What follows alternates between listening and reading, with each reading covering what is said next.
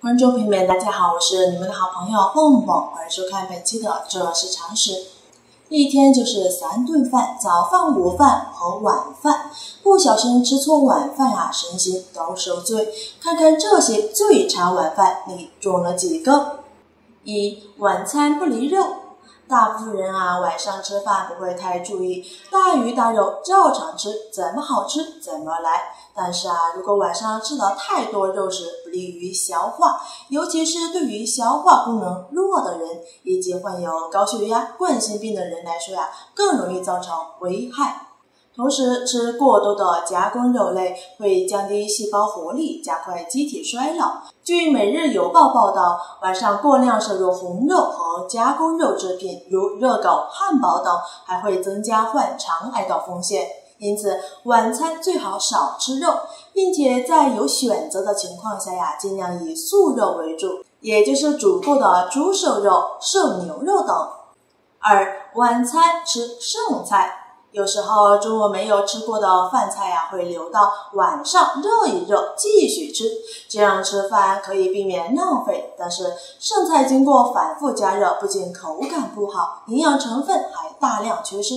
长期食用剩菜呀，不利于身体的营养摄取，并且有时剩菜放到有点变质，难以分辨。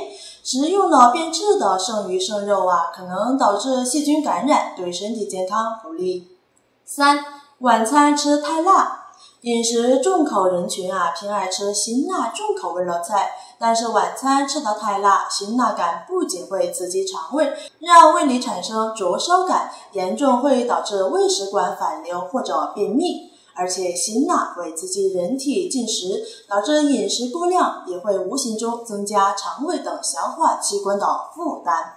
四、晚餐太油腻。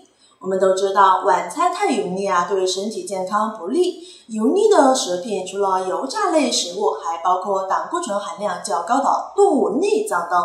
晚上吃这类食物啊，会加重肠胃、肝脏的工作负担，刺激神经中枢，还影响睡眠质量。五、晚餐后吃甜品。除了正常吃晚餐外呀，不少人喜欢晚餐后吃甜点。但是过于甜腻的东西很容易给肠胃消化造成负担。晚餐后运动量少，甜品中往往有大量的糖分，糖分很难在身体中分解，进而会转化为脂肪，容易造成肥胖。六、晚餐生冷黏硬。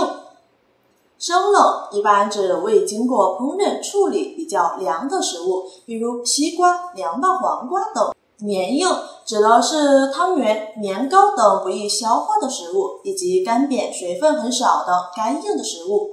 如果在晚餐中使用这类食物啊，就会刺激胃黏膜，导致胃黏膜血管收缩而缺血，从而妨碍正常的消化吸收。如果胃不好的人啊，吃了生冷食物，还容易引发急性胃炎等疾病。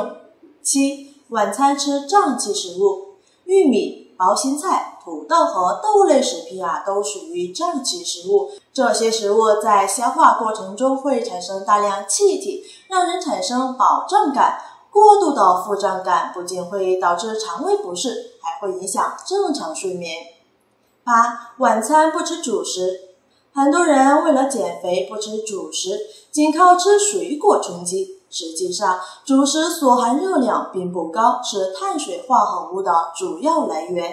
而碳水化合物啊，是人体不可缺少的营养物质。如果长期不吃主食，身体的营养摄取受到影响，就会出现营养不良、贫血、低血糖等问题。